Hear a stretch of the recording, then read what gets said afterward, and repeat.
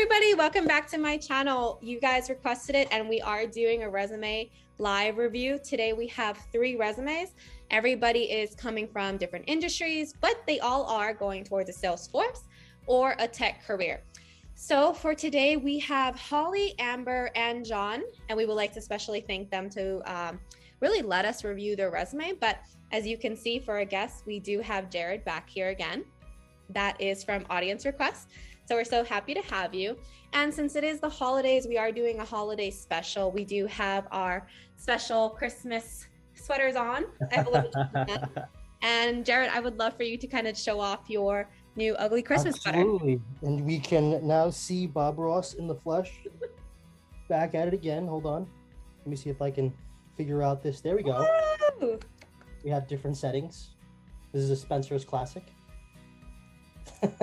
Oh, cool. That's so cool. So, everybody, we were feeling super, super festive, and we really just wanted to bring the giving spirit for everybody here. So, let's just go ahead and really get right into it. So, Holly, we are going to be reviewing your resume. Again, thank you so much for letting us do this. Um, I would love to have Jared just kind of speak to it first, and then I'll follow up with him. Absolutely. Do we have a uh, little background about Holly? Uh, maybe an understanding of what she's offering, what she's doing, what her next steps and goals are going to be? Yeah, absolutely. So Holly and I spoke a little bit offline, and she is entering into the Salesforce industry. Um, she does have a tech background from before, so she really wants to be able to format her tech background um, and the skills that she already has, whether that be programming, SQL, um, a little bit of those areas to be able to put that towards more of a Salesforce career. So her goal ultimately is to be able to have um, a more of a junior role coming into Salesforce. Phenomenal, absolutely, and I do see some of those uh, those key skills and those uh, those core attributes that really do make a very successful developer. Hmm. Um, so yeah, let's get into it. So if you can do me a favor, can you scroll yeah. just a little bit so I can see the rest of her resume? Absolutely. Nice. Okay, how many pages is it resume? Okay, so it's it's actually one page, but the second page kind of came tagged along for fun. Um, so the first thing I'm noticing is that one, I do have to say that I, I do like the way that the sections are broken up. So I mm-hmm. can say that that's that is very uh, professional, and also it can be considered a design choice. So I think that that's something that you know kind of shows a little bit about uh, who Holly is and how she likes to um, organize herself uh, it can really kind of come out and seep out the, the type of person or the type of professional that you would be dealing with um, when you're when you're looking at resumes. Uh, but what I do notice is that her key skills flow right into her education and her school projects, which I think um, can actually go to the bottom. So if we were to move those education, those school projects to where it historically is placed in most cases, which is under the work experience, I think that this actually might bring this resume a little further. Um, but I do like the way that uh, it is structured, and I do like the fact that she does use bullet points to convey the message, and she keeps those bullet points relatively short, also by getting the point across. Okay, and another thing I'm noticing too is that there's a little bit of off spacing within these key skills bullet points. While they are eye catching, she may want. I wonder if there's a hierarchy or a reason behind the the columns here, right? So we have. Mm-hmm Okay, no, I do see the hierarchy. So if you look at it, right, everything on the bottom kind of lines up with that last bullet point uh, in the left column all the way on the left side. So if you look at that, all of the bullet points that she has, they do transition across to make that fluid uh, effect. But at the same time, she may be able to conserve on space with that a little bit if she was to either bring some of these together and move some of them apart, right? So if she was able to if she was able to kind of transition this into either kind of considering the number of bullet points in each column and allowing it to kind of be that balanced bullet point look, right? Because there's enough bullet points in here that you can make both columns equal, if I'm not mistaken.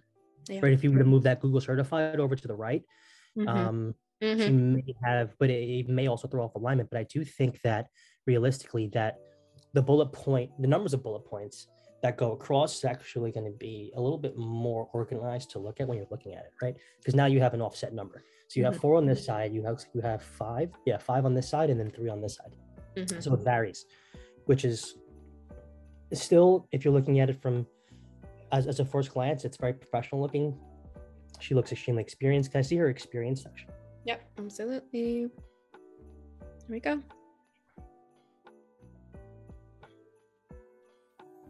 Okay, so there's not a great deal of information in these work experience. So I think what she might want to do is she might want to actually add a little bit more content in there and try to see if she can condense some of these bullet points in her education and in her school projects. Kind of bring those together. She actually could probably combine those into education and school projects and mm-hmm. then be able to differentiate them uh, accordingly. Mm-hmm. And from there, it, if she kind of expands on this, she'll probably be able to kind of convey the message of what she what she did without having to ask too many questions about it. And then when they actually do have a resume, uh, I'm sorry, an interview, it'll actually flow a lot deeper than surface level because she's already gotten a lot of that information out.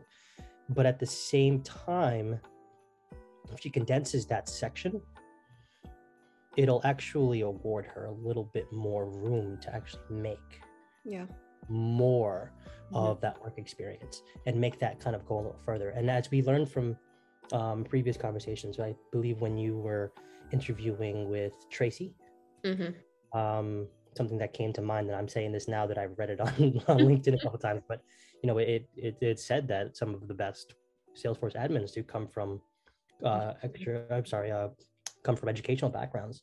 So you know that that looks awesome when you say it like that, right? And then you can kind of add a little bit of flair in there as well. Uh, mm-hmm. maybe a little color pop to some of these sections if you really wanted to get a little bit artsy um, and kind of show a little bit more about who you are as opposed to how structured you are. Mm-hmm. And I think overall, this is a very eye catching, uh, very simple yet very organized resume. And it can just use a little bit of restructuring and maybe a little bit of consolidation to really get those points across and a little bit of more in depth um, the work experience. Because my first thing or my first question when i'm looking at this work experience is okay cool. So you know I, I need a little bit more context. You said you designed implemented effective standards based lessons in writing and social studies can you go a little bit in depth in there? What else was that look like? What were your day-to-day responsibilities? How can we make this section work for us more so that there's less questions later? Great. Perfect. That is that is great. Um holly we really liked your resume in general. Um, so, just for some background, Jared is going to talk into the actual formatting, how it looks for a recruiter, and then the elaborations of your prior experience. And then what I'm going to be touching on is how to make it more visible in the Salesforce perspective. Um, so, now that you make these additions that Jared had mentioned, now we want to be able to really bring the Salesforce more out there for your resume.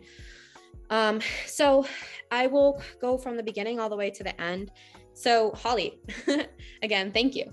I love that you have a programming background. I think, and I actually believe that these skills really do play into really any industry. So it's great that you have the key skills on the top. Um, but even before we get to the key skills, something that I just noticed was that under your name, you have only your email and your phone number, which is great.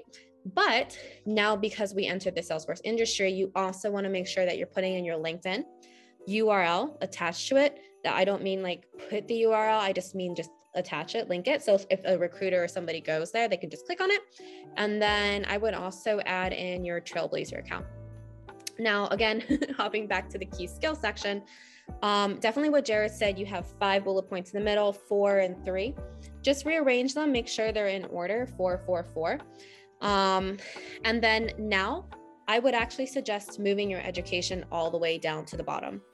Um, and I'm saying this because a recruiter will still look to see if you have your education completed. But now that you're in a Salesforce tech position, the first things that they're looking for typically are that you're Salesforce certified. So make sure that you're adding in any certifications that you have, any super badges. Um, especially when you're starting, you want to make sure that you're adding perhaps that you're a ranger, two times ranger, three times super badge. As you keep going, make sure that you put this in there. Now, moving down to your school projects and work experience, I completely agree with Jared. Um, looking here, you only have one bullet point. I would love to know what you did as a teacher because just like Tracy's video, and I'll make sure to link it right here. Um, teachers bring just so much in the industry. You got everybody has a great way of communication and talking. We really want to be able to showcase that in your resume. So again, just make sure you're adding in maybe two or three bullet points, elaborate a little bit, but a little bit more. Um, and when it comes to Salesforce, make sure or try to, as best as you can, put that into Salesforce words. So by looking at the Salesforce admin page, if that's the path that you're wanting to go or developer, I created reports to be able to track my child's or school's education process. Really just make it into like reports and dashboards if you were involved with security, kind of work around it. Um, but overall, really great resume. Just to retouch on both what Jared and I said, add a little bit more down here. You can combine your school projects. This looks great here. We, I think we both agreed to moving the education down and making sure that you put in the Salesforce skills that you have here as you go developing them over time, reorganizing the key skills section, and then also adding in your LinkedIn and your Trailblazer account. I like what you had just mentioned too about the, um, you know, we had talked about spoke about it in the in the last video, which was like adding those those links. And something that came to mind the other day when I was thinking about that, which was it's it's kind of interesting because LinkedIn and the Trailblazer profile, they've kind of become almost an extension of a business card, right? But a little bit more in, in the sense where I don't have to, you know, get one printed. I don't need a tangible copy for you to actually see what I do and what I like and what I post. And the type of person that gives you almost a sneak peek of who I actually am behind um, behind the resume and behind the paper. Uh, yeah. So I, I, you know, I definitely think that that's something that we should always try to establish mm-hmm. um, in a resume is to make sure that you know you always have at least a window into something other than this page. So that way mm-hmm. connect them to really understanding you know who you are what you are what you do right? Mm-hmm. um, and then you know that goes into the portfolio sections as well which i'll probably talk about later on as we go through some of these resumes. Yeah. Yeah and definitely just one more point into that that you just made me think about. But when you have that trailblazer account and you talk to people about the learning that you love to do because you'll hear that often in the salesforce industry we are all learners right we want to get on trailhead we want to earn the next badge what's out there but by providing that direct link for an employer or recruiter to see, they can really speak highly of you if you are going up. I'm not saying that badges are absolutely required because they're not, but it does show another piece of personality into who you are. So great. So again, Jared, thank you for joining me on reviewing Holly's resume. And let's get to Amber.